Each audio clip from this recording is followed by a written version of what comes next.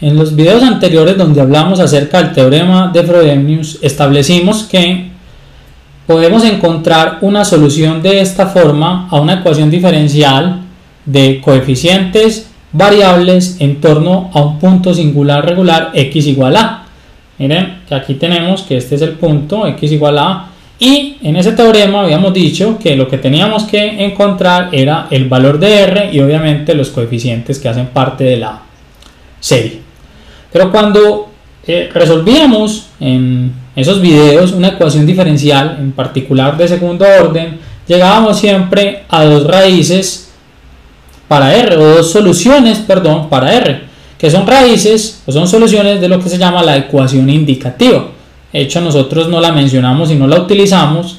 y personalmente mmm,